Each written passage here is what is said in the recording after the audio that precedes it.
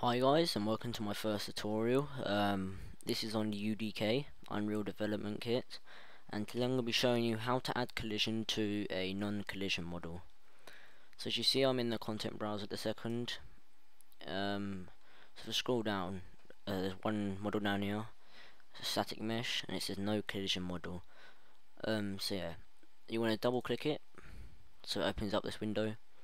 Then you want to click on the collision tab and go down until you get up to auto convex collision. Click that and it opens up another, another window. Um, so look where it says max hull verts and you want to increase that up to 16 because that's the best kind pretty much best fit for all of the models. You want to apply that then close it down.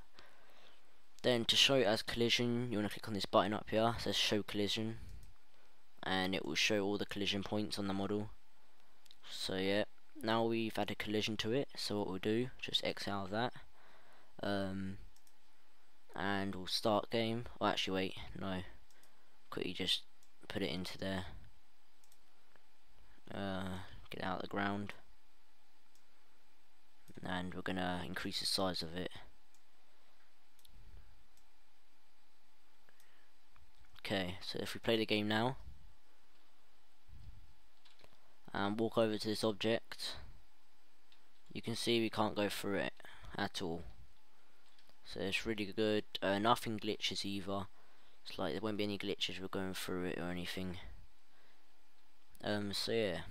Uh, hope you guys enjoyed this quick tutorial.